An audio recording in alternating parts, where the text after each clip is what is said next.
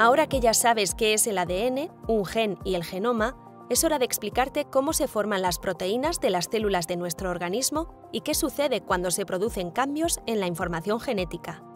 Recuerda que las proteínas son unas moléculas esenciales para el funcionamiento de los tejidos y órganos del cuerpo. Sin ellas, nuestro cuerpo no podría funcionar. ¿Sabes cómo se forman? Los genes contienen la información que necesitan las células de nuestro organismo para fabricar las proteínas. Esta información incluye combinaciones de letras que corresponden a las bases nitrogenadas del ADN.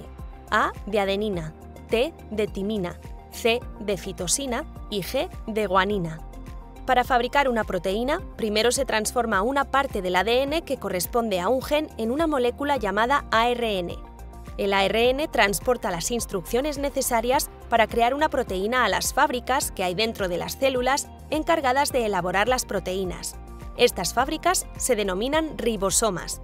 Los ribosomas leen las instrucciones entregadas por el ARN en bloques formados por tres letras llamados codones, por ejemplo, ACG o AAG. Así, leyendo codón a codón, se van agregando diferentes bloques conocidos como aminoácidos, parecidos a las perlas de un collar, y se va formando una cadena. Las diferentes cadenas de aminoácidos constituirán las proteínas. A veces, durante estos procesos, se producen errores llamados mutaciones debido a una lectura equivocada de la información. Las mutaciones también se pueden producir en diferentes momentos de la división celular.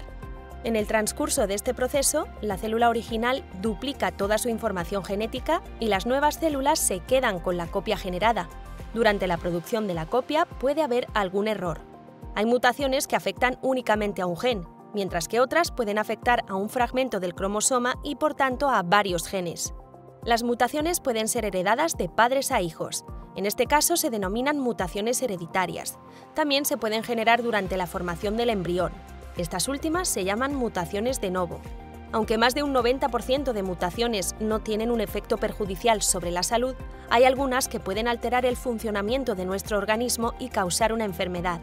Ante una enfermedad de causa genética de la que hay poca información, es fundamental investigar cuáles son los genes implicados para poder entender cuál es la célula afectada o cuál es la parte de la célula que tiene un problema. Esta información posibilitará la investigación de nuevos tratamientos personalizados.